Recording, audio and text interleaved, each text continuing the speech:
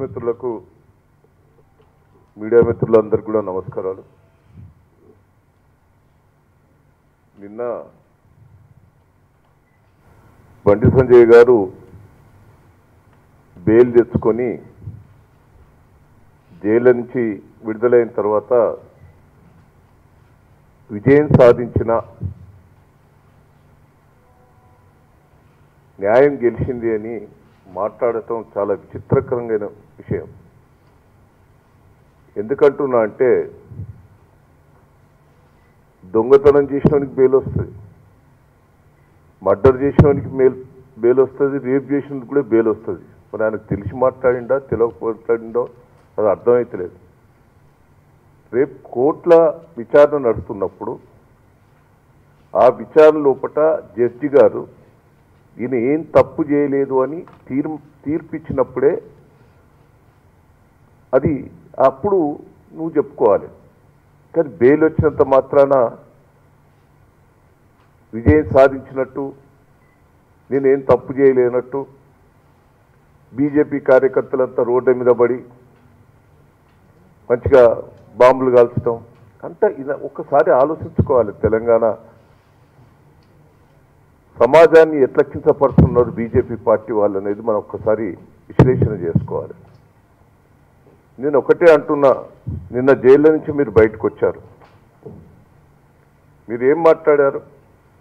నాది ఏ తప్పు లేదంటున్నాం అంతా సిపి గారు ప్రభుత్వ ఆదేశాలతోటి నా మీద కేసులు పెట్టారని. నీ నీ కాన్స్టిట్యున్సీ అది. నీ parliament constituency Kamalapur. Assembly conference కూడా బీజేపీది. నీ కొద్దిగా సమాచారం వస్తే అది పోలీస్ వాళ్ళకో ప్రభుత్వ పరంగానో చెప్పవలసిన బాధ్యత నీ దగ్గర ఉన్నది. మరి నువ్వు జరగకుండా దాన్ని ప్రెస్కు మీడియాకి ఇచ్చి విద్యార్థుల జీవితాల మీద ఆడుకున్నందుకే కదా ఈ డ్రామా చేసిందంతా. ఇది రాజకీయమా? విద్యార్థుల జీవితం మీద రాజకీయం చేయాలను అంటే నీకు కొద్ది కూడా సిగ్గనిపిస్తలేదా? నీ పార్లమెంట్ కాన్స్టిట్యున్సీ. కమలాపూర్ మీ ఈటల రాజేందర్ గారి కాన్స్టిట్యున్సీ. సరే ప్రశాంత్ నీకు ఇచ్చిన సమాచారం. అంతకుముందు నువ్వు ఆయన ఆయన కూడా గంట కింద నీతో మాట్లాడిని. ఒక రోజు ముందు నీతో మాట్లాడిని. మొత్తం వివరాలు కూడా సిపి గారు చెప్తున్నాడు. సిపి గారు క్లియర్గా చెప్పారు. ఒక ఒక రోజు నుంచి వాళ్ళంతా కలిసిమెలిసి ఆ ఫోన్లలో మాట్లాడే అన్ని కూడా కొంత సమాచారం వచ్చింది. నీ ఫోన్ ఇస్తే మొత్తం సాక్ష్యాలతో మా దగ్గర దొరుకుతుందని సిపి గారు క్లియర్గా నీతో చెప్పారు. ఎందుకు ఇయ్యలే ఫోను? అంటే నీ దగ్గర క్లియర్గా తప్ప ఉపడుతుంది అది కూడా నీకు సిగ్గు అనిపిస్తలేదా? నాకు అప్పుడప్పుడు అనిపిస్తుంది. కోర్టు జడ్జి దగ్గర పోయి అయ్యా నీ తల్లిదండ్రులు లేని వాడు ముక్త కోర్టు జడ్జి గారు ముక్తాడు తల్లిదండ్రులు తప్పే కోర్టుకు వచ్చిండు. కేసులు ఆ కేసులనే వచ్చిండు. ఈయన మొత్తం రెండు పేపర్ లీకేజీలు నీదే బాధ్యత. మీ బీజేపీ పార్టీదే. మీ బీజేపీ పార్టీ వ్యక్తులే. ఫోటో దిగుడు అంటే మీరు తప్పు లేదు. ఫోటో అందరితో దిగుతారు మేము ఫోటో దిగుడు కాదు. మీ ఇంతకుముందే మా సుమన్ గారు చెప్పారు.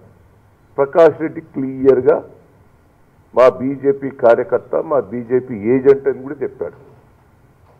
అంటే ఇప్పుడైనా నీకు సిగ్గు అనిపిస్తలేదా? ఆయన సమాచారం ఇచ్చాడు. ఇచ్చినప్పుడు అది దానికి సంబంధించిన అధికారులకు అంటే విద్యార్థుల కుటుంబాలతోటి విద్యార్థులతోటి చెలగాటం ఆడుకోవాలని బీజేపీ ప్రభుత్వం ఆడుతున్న డ్రామా. ఎన్ని పాపాలైనా చేయాలి పవర్కు రావాలి. నేను ఒకటే అంటున్నా మొన్నటిదాకా మత శిక్షులు పెట్టాలని ప్రయత్నం చేశారు. కేసీఆర్ గారు ముందు దృష్టితోటి దాన్ని కంట్రోల్ చేశారు. ఇప్పుడు ఎలక్షన్ల ముందట ఈ లీకేజీలతోటి విద్యార్థుల జీవితాల మీద ఉద్యోగస్తుల జీవితాల మీద చెలగాటం అనే ప్రయత్నం చేస్తున్నారు. ఇంతకంటే ఇంకా నీచమైంది ఏమైనా ఉన్నదా? ఇంకా మళ్ళీ నువ్వు సొక్కవని ఎందుకు చెప్తావు? కేటీఆర్ గారిని తిడతావు కేసీఆర్ గారిని తిడతావు. కేసీఆర్ కేటీఆర్ గారు జైలుకు పోయారు. ఎందుకు పోయారు? తెలంగాణ కోసం పోయారు ఉద్యమం కోసం పోయారు. నువ్వు దేనికి పోయావు? లంగతనం పోయి బ్రోకర్తనం చేసి నువ్వు కేసు జైలుకు పోయినావు. నువ్వు నాయన ఒకటి సమానమా మళ్ళీ సిగ్గు లేకుండా మళ్ళీ మాట్లాడతావు కేటీఆర్ జైలుకు దోలుతాం కేసీఆర్ని జైలుకు దోలుతాం నువ్వు నీవే తోలినందుకు? అంటే నీ కేంద్ర ప్రభుత్వం ఒక కుట్ర మంతున్నదని మొదలై నీకు లీక్ లీక్ ఇచ్చిందా?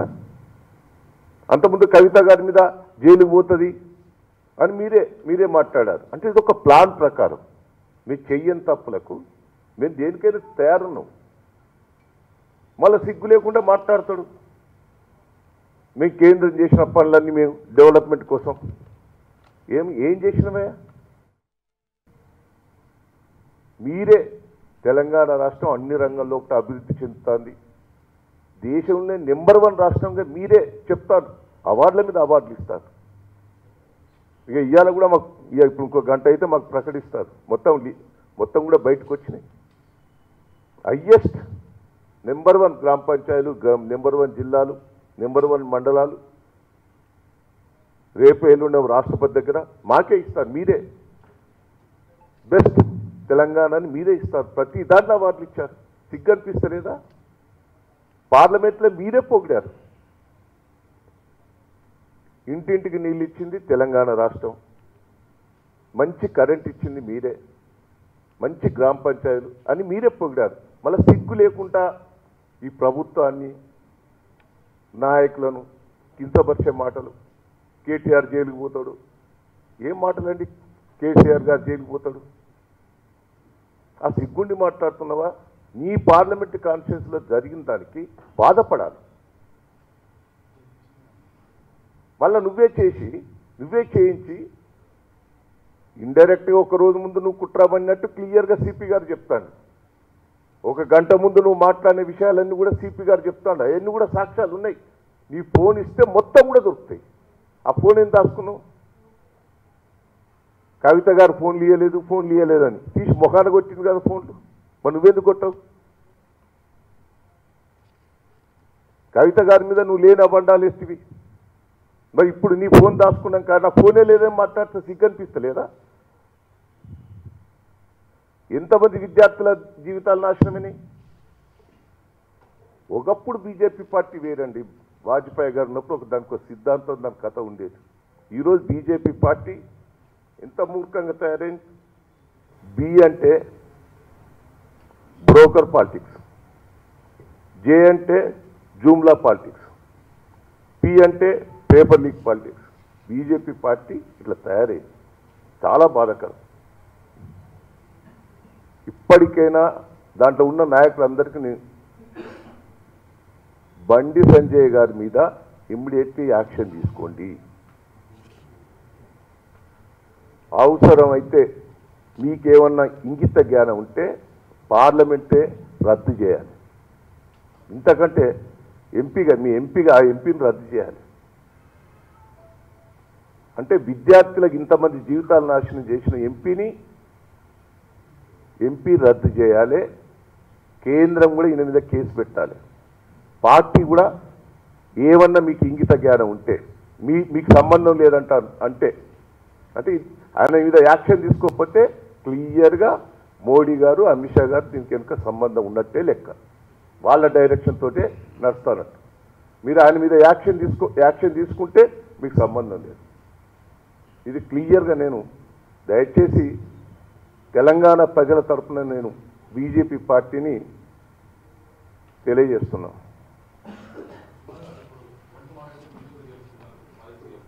సరేరా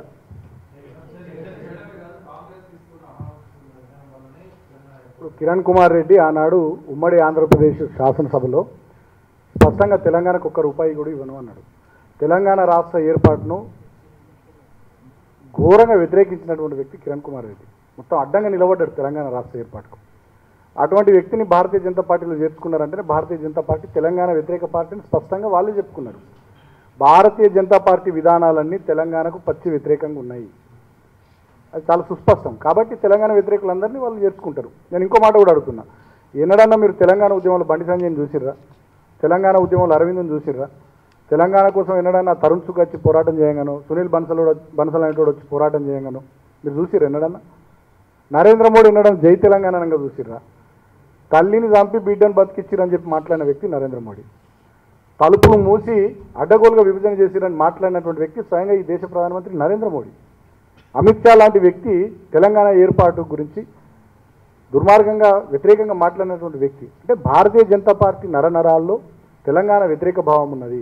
ఆనాడు కూడా కాకినాడలో ఒక ఓటు రెండు రాష్ట్రాలను తీర్మానం చేసి వాళ్ళ ఎన్డీఏ ప్రభుత్వం ఉన్నప్పుడు మూడు చిన్న రాష్ట్రాలు ఏర్పాటు చేశారు. కొత్త రాష్ట్రాలు ఛత్తీస్గఢ్ జార్ఖండ్ ఉత్తరాఖండ్. కానీ తెలంగాణ రాష్ట్రాన్ని ఆనాడు ఏర్పాటు చేయలే వాళ్ళ అధికారంలో ఉన్నప్పుడు కూడా. సో కాబట్టి భారతీయ జనతా పార్టీ పూర్తిగా తెలంగాణ వ్యతిరేక పార్టీ.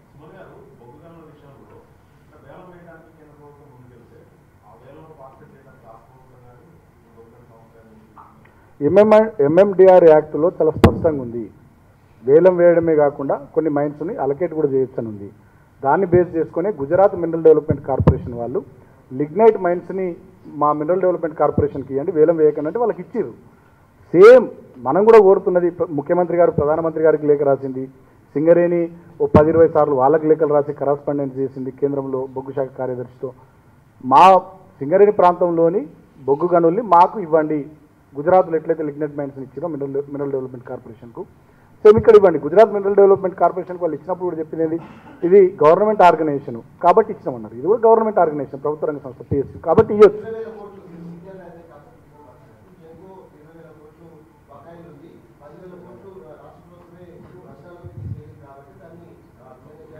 మీ చేతులు ఉన్న పని రాజు పని చేయరాదు బీజేపీ వాళ్ళు.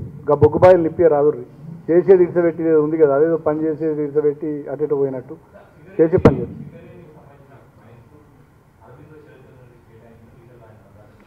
అది నిజం లేదు.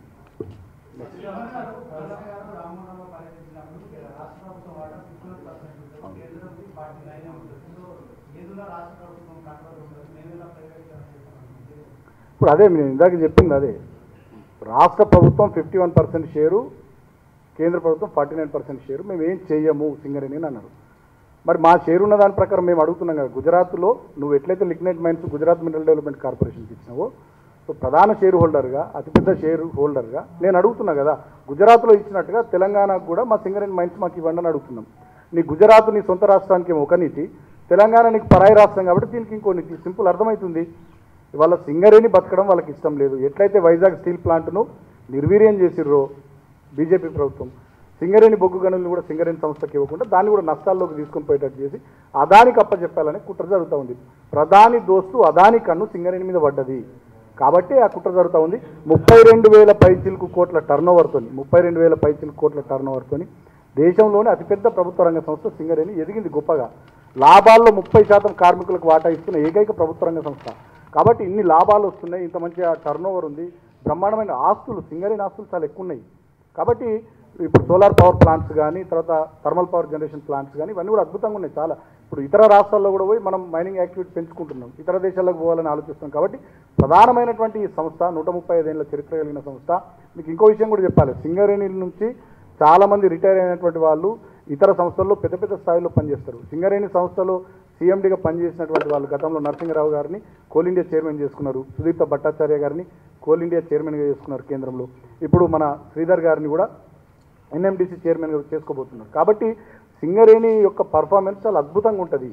చాలా ప్రొఫెషనల్ ఆర్గనైజేషన్ కాబట్టి దీన్ని ఎట్లన్నా చేసి అదాని చేజించుకోవాలని కుట్ర చేస్తున్నాడు. దానికి ఇప్పుడు శ్రీలంక లాంటి రా దేశము ఆస్ట్రేలియా లాంటి దేశము బంగ్లాదేశ్ లాంటి దేశానికి పోయి అక్కడ ఉన్నటువంటి సంస్థలు ఆస్తులు వనరుల మీద అదానికి హక్కులు వచ్చేటట్టు చేస్తున్నటువంటి వ్యక్తి నరేంద్ర మోడీ.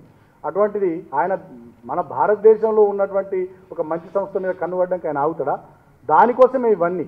నేను చెప్పిన మీకు చెప్పినటువంటి చరిత్ర from the beginning of two thousand eighteen నుంచి నేను ఇప్పటిదాకా చెప్పిన ఆల్మోస్ట్ ఆల్ ఫైవ్ ఇయర్స్ ఐదు సంవత్సరాలుగా మనం మొత్తుకుంటున్నా కూడా వాళ్ళు మనకు బొగ్గు గన్లు ఇస్తలేరు. ఎందుకు ఇస్తలే?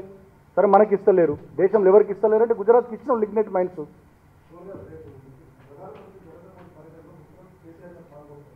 నాకు తెలియదండి.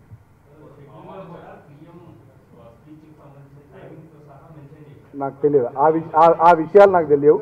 కానీ ప్రధానమంత్రి గారు వస్తున్నటువంటి సందర్భంలో మా సింగరేణి కార్మికుల గొంతుకగా బీఆర్ఎస్ పార్టీగా మేము నాలుగు చోట్ల రామగుండము అదేవిధంగా మంచిర్యాల భూపాలపల్లి కొత్తగూడెంలో మహాధరణ కార్యక్రమాలు పెట్టుకున్నాము. మా గొంతును వినిపిస్తాము మా కార్మికుల పక్షాన మా ప్రజల పక్షాన మా గొంతును వినిపిస్తాము. ఇక్కడేమనుకోలే. నాలుగు చోట్ల. సింగరేణి కోల్ బెల్ట్ ఏరియాలో అనుకున్నాం.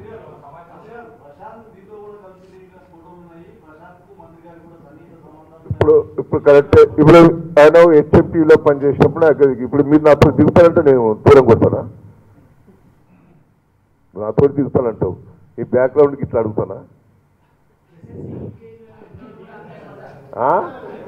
వరంగల్ వరంగల్లోనే వరంగల్లోనే ఒక టీవీలో పనిచేసిండు. అప్పుడు నాతో దిగొచ్చు దిగుతాడు ఆ- అగాగు అదా ప్రకాష్ రెడ్డిగా అదాగవా ఇను ఇదొక్క నిమిషం ఇన్నో దయచేసి. ఇన్నది ఒక్కసారి.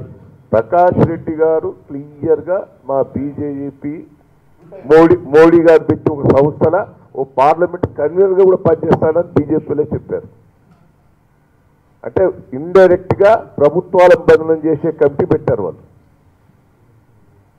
ప్రభుత్వానికి కేంద్ర ప్రభుత్వాన్ని సపోర్ట్ చేసినట్టు రాష్ట్ర ప్రభుత్వానికి బంధనం చేసినట్టు ఒక కమిటీ వేశారు పార్లమెంట్ వైజ్గా. ఆ పార్లమెంట్ దానికి కన్వీనర్ ఆయన. అడగండి. ఆయన చూస్తే కదా.